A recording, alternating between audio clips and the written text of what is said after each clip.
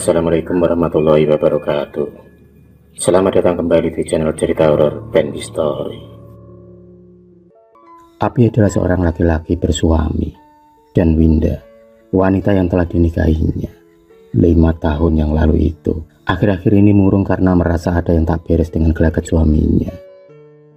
Sebelum menikah dengan Winda Api adalah seorang pemuda dari kampung. Dia datang ke kota untuk mengadu nasib. Dan alhamdulillahnya, dia bertemu dengan Pak Joko, yang tak lain adalah ayah kandung dari Winda. Pak Joko yang sedang membutuhkan tukang kuli panggul, segera menawarinya pekerjaan, karena memang membutuhkan karyawan. Pak Joko sendiri adalah pemilik toko bangunan. Usahanya maju pesat, dan ada beberapa cabang di kotanya. Winda yang kerap membantu ayahnya dalam mengelola keuangan, mau tak mau dia sering bertemu dengan Abi Gadis cantik dan baik itu mampu membuat jantung Abi berdebar. Seiring berjalannya waktu, perasaan itu pun tumbuh. Winda dan Abi saling mencintai, dan Pak Joko pun merestui mereka berdua. Karena Abi dinilai pemuda yang bertanggung jawab dan bekerja keras, beliau tak pernah memandang status menantunya yang hanya seorang rakyat biasa. Begitu baiknya Pak Joko dia pun memberikan kepercayaan kepada Abi untuk mengelola salah satu tokonya. Meski Abi dan Winda belum diberi momongan, tapi mereka sangat bahagia. Tak ada terlintas di benak Abi untuk mencari wanita lain.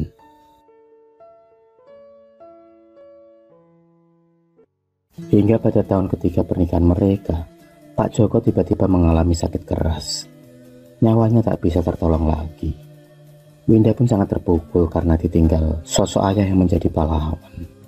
Ayah sebagai pelindung serta jaya dalam hidup Winda, kini telah bahagia bersama almarhum ibunya. Setelah 100 harinya Pak Joko, Abi pun meminta izin untuk pulang ke kampung dengan alasan ibunya sedang sakit. Awalnya Winda tak pernah curiga, bahkan setiap Abi pulang kampung, Winda selalu memberi uang serta keperluan dalam perjalanan. Kalau dulu Abi akan pulang kampung setiap lebaran saja, tapi kini dia lebih sering mengunjungi ibunya. Dan hal itu bukan masalah bagi Winda. Tapi yang sering menjadi permasalahannya adalah ketika Winda ingin ikut suaminya, Abi akan cepat melarang dengan segala alasan. Hingga suatu hari, lagi-lagi Abi meminta izin pulang kampung. Dan Winda pun mengizinkan Abi. Bahkan, seperti biasanya Winda selalu menyiapkan segala keperluan serta kebutuhan Abi. Tak seperti biasanya, Winda kali ini mempunyai firasat yang tak enak. Sebagai seorang istri, Winda pun hafal betul dengan sifat api. Bahkan, setiap inci dari tubuh suaminya itu, Winda dapat mengetahuinya.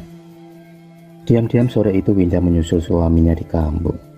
Dan setibanya di sana, hati Winda 35 tahun itu pun luluh lantah. Detik itu juga lututnya gemetaran Seolah tak kuat menopang tubuhnya, air mata pun turun menetes di pipinya. Seperti mimpi, tapi inilah kenyataan. Api yang dinilai sebagai suami yang baik dan setia, tak ubahnya hanya pengecut dan pengkhianat.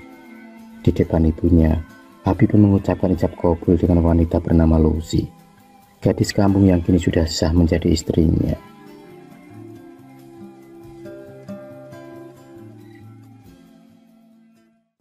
Tak kuat menghadapi kenyataan, Winda pun memilih mundur dan pulang. Dia mengikuti alur dari permainan suaminya. Dan sebagai wanita terhormat, Winda pun bermain secara cantik dan elegan. Dia pun berpura-pura tak tahu akan kebusukan suaminya. Bahkan, Winda masih melayani Abi dengan baik. Setelah menikah dengan wanita lain, Abi sering pulang kampung dengan waktu yang cukup lama hingga berbulan-bulan lamanya. Hingga suatu hari saat Abi sedang berdua dengan istri barunya, dia pun mendapatkan surat. Surat itu berisi gugatan perceraian dari Winda. Pengadilan agama mempercepat sidang perceraian lantaran bukti kuat yang diberikan kepada hakim. Setelah perceraian itu, Winda kini puas karena terlepas dari drama rumah tangganya. Sedangkan Abi sendiri merasa sedih lantaran sumber dari keuangannya adalah Winda.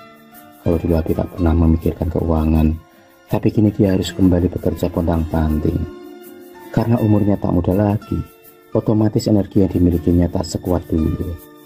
Dia merasa cepat lelah dan fisiknya sering sakit-sakitan. Satu tahun berlalu, perekonomian Abi semakin terpuruk. Jangankan kendaraan, makan dua kali sehari saja sudah Alhamdulillah. Abi pun meminta maaf kepada Winda dan ingin rujuk kembali. Dengan lantang, Winda pun menolak dan mengusir Abi dengan kasar. Kesengsaraan Abi belum seberapa dengan rasa sakit yang dialami oleh Winda selama ini.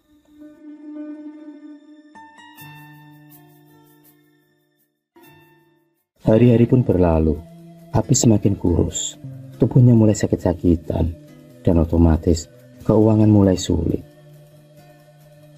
Dan yang lebih parah lagi, Lucy tak kuat lagi hidup dengan Api, karena Lucy telah salah mengira kalau Api adalah seorang pengusaha sukses di kota, seperti yang digembar-gemborkan Api selama ini. Karena kenyataannya, semua kekayaan yang ia punya selama ini adalah milik mantan istrinya dulu. Penyesalan pun dirasakan Lucy dan Abi. Setelah berpisah dengan Lucy, Abi semakin tak terurus. Tubuhnya kurus kering, lusuh, tak terawat. Rasa sakitnya semakin parah. Ditambah lagi ibunya yang mulai rentah, tak bisa merawat Abi. Di sisi lain, Winda telah hidup bahagia dengan suaminya yang baru. Dia melupakan masa lalu yang pahit, menatap masa depan yang lebih manis karena setiap wanita berhak untuk bahagia.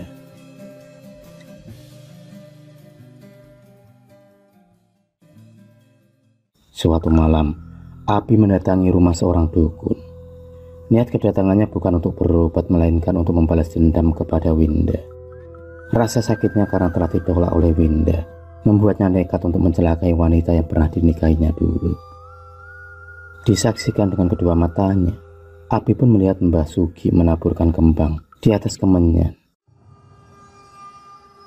Kepulan asap membumbung tinggi, memenuhi setiap sudut ruangan. Mulutnya kumat kamit dan tak lama kemudian menyebut nama Winda. Boneka kecil berbalut kain kafan itu pun lalu ditusuk-tusuk dengan paku. Simpanlah benda ini dan tusukkan paku ini pada bagian yang kamu inginkan. Dari situlah mantan istrimu akan kesakitan. Ucap Basuki sambil memberi ritual kecil kepada Abi agar santet tepat sasaran. Senyum sinis tersungging di bibirnya. Dia sudah tak sabar lagi melihat Winda sengsara.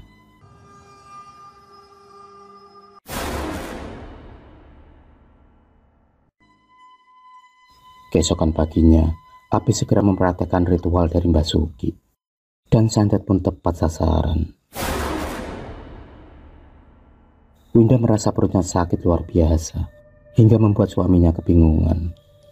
Dan hal itu sering terjadi dan sering dialaminya akhir-akhir ini. Tapi alhamdulillahnya, suami Winda menguasai sedikit ilmu kebatinan. Berkat ilmu yang dipelajarinya saat mondok di pesantren, sewaktu dia masih muda dulu. Suami Winda meminta petunjuk dari Allah untuk mengembalikan santet kepada pengirimnya dan ternyata doanya itu dijabah dari yang kuasa. Santetnya pun berbalik arah kepada api. Kini api terkapar lemah dengan luka tusukan memenuhi tubuhnya. Bahkan yang paling mengenaskan, api meninggal dengan mata melotot dan lidah yang menjulur. Meski begitu, Winda tetap memaafkan dan mendoakan agar Allah Subhanahu wa Ta'ala mengampuni dosa-dosa api Winda akhirnya hidup bahagia dengan bayi kembar dan suaminya. Sedangkan Lucy sendiri menjadi TKW di luar negeri. Dan kabar yang didapat, Lucy mendapatkan majikan yang sangat jahat.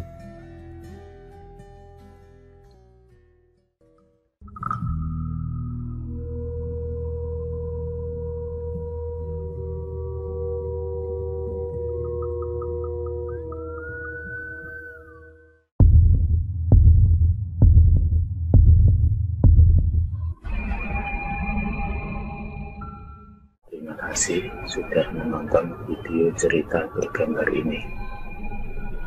Klik subscribe untuk terus mendapatkan video-video cerita bergambar selanjutnya. Semangat berkarya.